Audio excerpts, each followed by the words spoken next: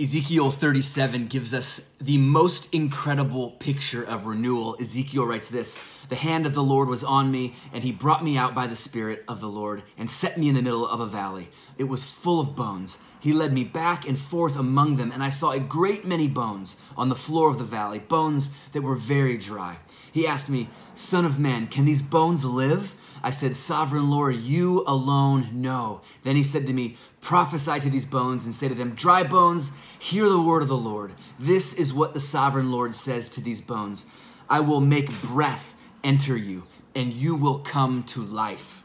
The Apostle Paul later talked about how he was a blasphemer, a persecutor, an insolent opponent but that Christ Jesus had come into the world to save sinners, of whom he was the worst, he was the foremost, but that God's mercy and renewing spirit reached him.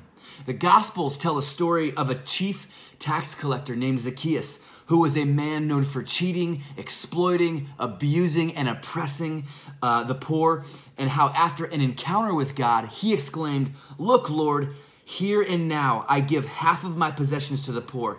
And if I have cheated anybody out of anything, I will pay back four times the amount. Psalm 104 says that when the Spirit of God shows up, we are recreated and the land is renewed. A renewed land is a just land. A recreated heart is a just heart. It's a heart that sees the beauty and inherent worth in and on every human being. It's a heart that walks humbly and lives justly. And there is no human heart that is out of reach for the renewal that the Spirit of God can bring. And that is good news.